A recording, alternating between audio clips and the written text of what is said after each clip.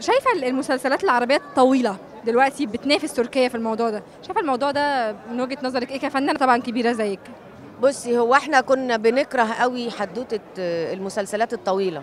ودليل على كده إن إحنا عشنا سنين الحلقات بتاعتنا اللي بتتعرض 13 حلقة 14 15 ما كناش نعرف ابدا حدوتة 25 حلقة دي يعني. أنا شايفة إنه آه، الشعب المصري حب جدا المسلسلات التركي عشان آه، دراما طويلة. جدا ومكملة بعض يعني.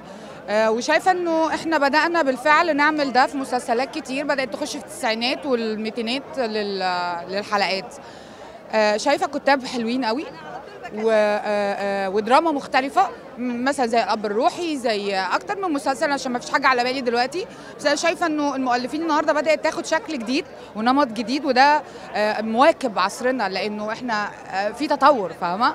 آه، غير الفيديو القديم وغير 30 حلقة بقى في تطور تاني في الدراما. أنا مبسوطة إن إحنا بدأنا نواكب ده. وبدل ما نشتري مس- مسلسلات تركية ومسلسلات آه، نتفرج عليها من بره طب ما إحنا نعمل ال 90 وال 200 وال 300 طالما الشعب حابب كده يعني. لو عمل جيد بي بي بي بي بيعمل ده خلاص.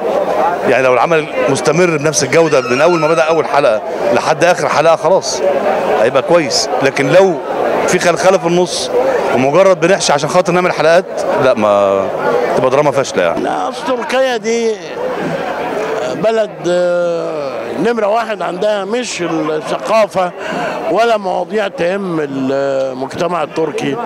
لا يهمهم السياحة إنهم يشدوا المتفرج على إنه يروح يزور تركيا. إنما إحنا آه، كان كل همنا إن إحنا آه، نعمل ثقافة لمصر نعمل نرفع مستوى اللي بيقدم من الفن في مصر. لأنه الفن ده ده السلاح الناعم زي ما بيقولوا.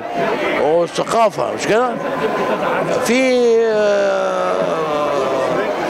في في في مستوى مش راضيين عنه إحنا بصراحة.